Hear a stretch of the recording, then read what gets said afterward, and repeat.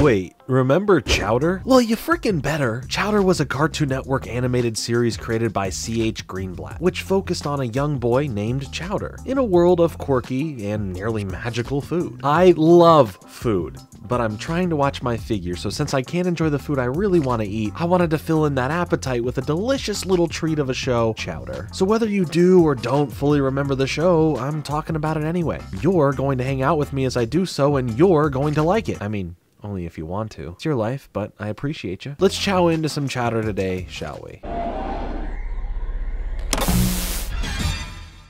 Welcome back, or hello, for the first time, to the 25 Days of Fringemas, where I cover something interesting, nostalgic, or holiday related every day from the 1st of December to the 25th, in order to find that holiday spirit I lost nearly a decade ago. So if you want to be a part of this daily journey and help me find that good old jolly joy, subscribe and come aboard. Our title character, Chowder, is a purple cat bear rabbit hybrid with a small pointed tooth that comes out of his mouth and an iconic two point hat. My hat only has one point, and I apologize for not living up to the two point standard. In the series, Chowder is learning under Chef Mung Daal as an apprentice at Mung Daal's catering company in order to fill his lifelong dream of being a great chef. This dream and Mung Daal's cooking lessons are often sidelined though by Chowder's endless appetite and the fact that he's a bit of an airhead. No, literally, he do be just floating sometimes. Chowder's endless hunger does grant him the ability, as shown throughout the series, to regurgitate objects he's consumed. Think Yoshi or Kirby, but to a more graphic degree. Yuck. Because of this ability, Chowder is sometimes used as a video game backpack storage of sorts by other characters in the show. According to a quote from the show's creator, Chowder's design was made to mimic the image of a child's soft squeeze toy, versus any apparent species of animal in mind, pulling inspiration from Dr. Seuss illustration and designs. In fact, the world of the show itself, at least within Mung Daal's place of operations, it feels a bit like Dr. Seuss and Willy Wonka merged companies and designed a factory together. I love that it feels imaginary and impractical for anything that needs to get done,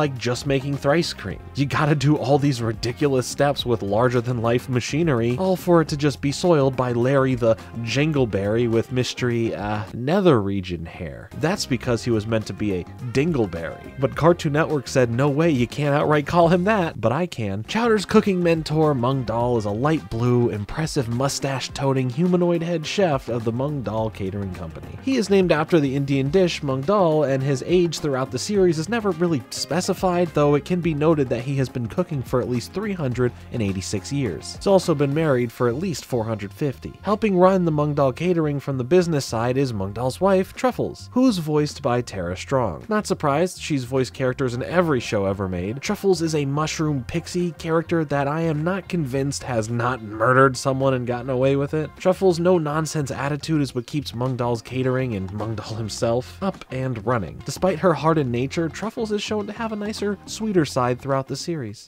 Chowder is coming up next.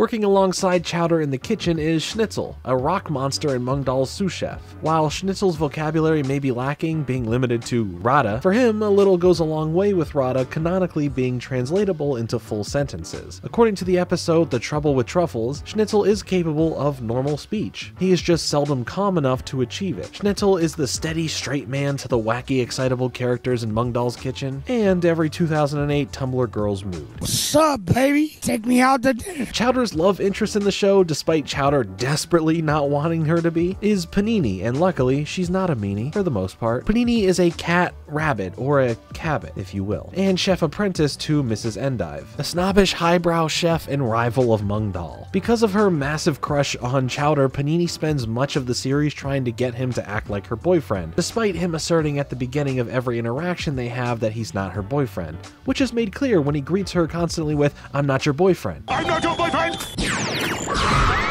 Gazpacho is this woolly mammoth shopkeeper who sells unique and strange ingredients at his booth at the farmer's market, and is a friend of Chowder's. He gives Chowder sometimes questionable advice, but totally a fan favorite for the series. Chowder ran from November 2nd, 2007 to August 7th, 2010 for a total of 49 episodes over three seasons. A pretty decent feat in an era where a lot of shows weren't lasting super long, but this isn't Nickelodeon, so seeing any show get past two, let alone one season, is incredible. Chowder was a unique show with with iconic humor that included playing with animation gags such as suddenly having an element that was live action, or in a very different style of it just straight up being puppets. Literally one of the funniest clips being of them mid-episode running out of the animation budget during a fourth wall break. No money means no animation. Where now the actual voice actors need to host a car wash to make money for the animation to come back. Honestly, can you even say that this show had a fourth wall to break? It felt like it was never there with this constant supposed breaking of it. The show was created by C.H. Greenblatt, a screenwriter, producer, storyboard artist, cartoonist, and voice actor, as a take on the classic Sorcerer's Apprentice type of story, but with recipes and ingredients instead of potions and spells. Greenblatt's original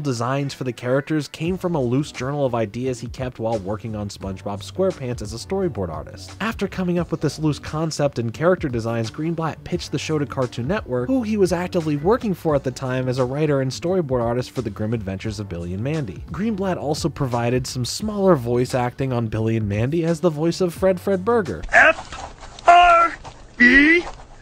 Two years after the initial pitch, Chowder was greenlit, and a year after that, the first episode aired. Since his time working on Chowder has ended, Greenblatt has created the Nickelodeon show Harvey Beaks and the Hanna-Barbera animated series Jellystone for Warner Bros. Greenblatt even voiced numerous random characters in Chowder, including Kiwi, a pink creature who occasionally gave out some advice to various characters, and he also provided the voice of adult Chowder in the show's final episode, which took place about 20 years in the future. At the beginning of this final episode, Chowder, now an adult, has refused to grow up, going so far as to avoiding taking over the responsibilities of running the catering company, including allowing Mung Daal to retire and taking up the task of training his own apprentice. By the end of the final episode, though, Chowder has learned to accept the passage of time and, with it, his own adulthood. Chowder marries Panini and gets to work as a professional chef. Schnitzel and Miss Endive end up getting married by the series finale and left the catering companies, while Gazpacho has started his own comedy club and Truffles and Mung Daal have gone off and retired. And as far as show finales go, not only does it represent being prepared for responsibilities in your adult life, it's just also a satisfying conclusion that most cartoons don't get the chance to tell.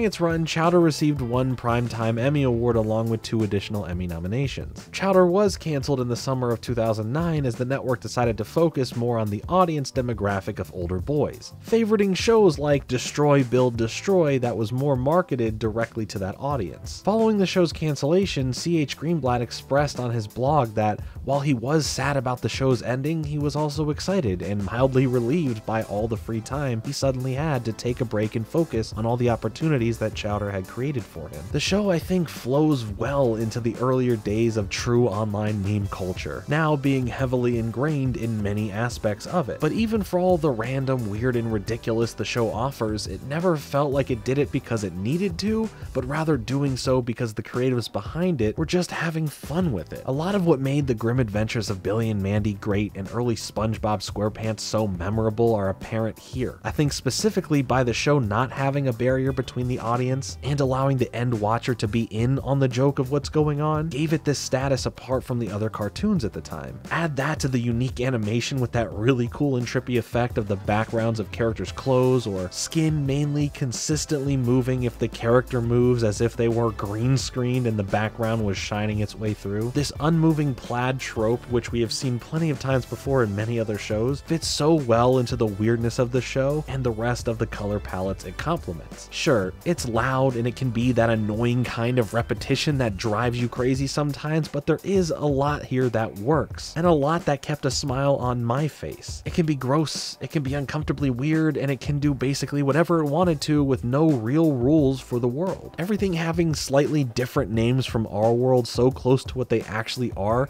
just feels too on the nose of the writers cracking dumb jokes after acquainting themselves with enlightened ground magic. Sentient food that doesn't mind being cooked, endings with puppets, a world constantly adjusting to whatever the circumstances call for at a moment's notice. The show created what felt like a playground of imagination in a world built around the love of food and spirit of fun. I think Chowder hits different for a lot of people based on how the comedy lands. There are some who love it and those who really don't. I fall into the kinda love it category for how chill and fun it was to go through a rewatch of a show like this. But you should let me know what you think of the show, love it or not, in the comments below. Thanks so much for hanging out with me here today. Make sure to hit the like button and subscribe for more content like this. Follow me on Twitter, or else.